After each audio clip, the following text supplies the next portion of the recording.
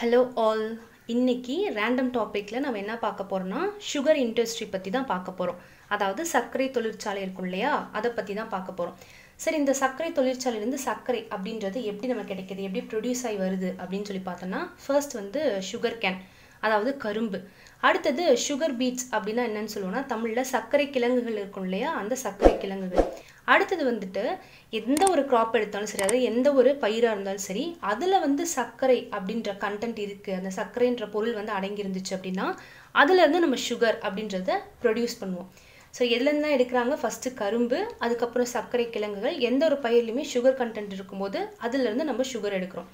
அடுத்தது இந்தியாவில் வந்து பார்த்தோம் அப்படின்னா நம்ம எங்கேருந்து அதிகமாக மெயின் சோர்ஸ் நமக்கு சுகர் வந்து எங்கேருந்து அதிகமாக கிடைக்குதுன்னா கரும்பு இருக்கு இல்லையா? அதுலேருந்து நமக்கு வந்து அதிகமாக கிடைக்குது. சரி இப்போ வந்து வேளாண் சார்ந்த ஒரு தொழிற்சாலை நம்ம இந்தியாவில் வந்துட்டு வேளாண் சார்ந்த தொழிற்சாலையில் ரொம்ப அதிகமான ஒரு இதில் இருக்கிறது எந்த பிளேஸில் இருக்குது அப்படின்னா காட்டனுக்கு அடுத்தது சுகர் இண்டஸ்ட்ரி தான் இருக்குது வேளாண்க்கு அடுத்தது நம்ம பார்க்கும் பொழுது.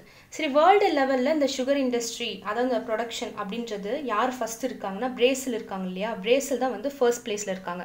பிரேசிலுக்கு அடுத்தது இருக்கக்கூடிய ஒரு நாடு வந்து இந்தியா தான்.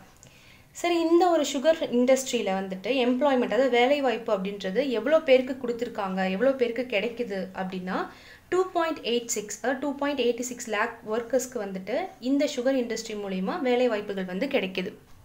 அடுத்தது இந்தியா லெவலில் நம்ம பார்க்கும் பொழுது உத்தரப்பிரதேச இருக்குல்ல யூபி அதுதான் வந்து அதிகமான சுகர் அப்படின்றத ப்ரொடியூஸ் பண்ணி கொடுக்குது. அதாவது நாட்டில் வந்து ஒரு நூறு சதவீதம் அப்படின்னு நம்ம எடுத்துக்கிட்டோம் அப்படின்னா அதில் ஐம்பது சதவீதம் இருக்கும் இல்லையா? பாதிக்கு பாதி.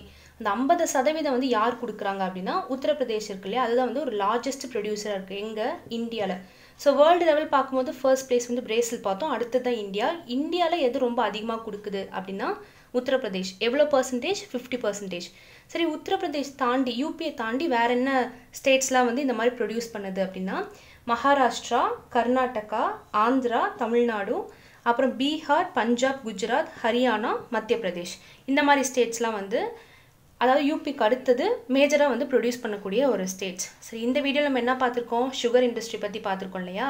ஸோ இனி வரக்கூடிய டாபிக்ஸில் இன்னும் நிறைய டாபிக் பற்றி நம்ம பார்க்கலாம். தேங்க்யூ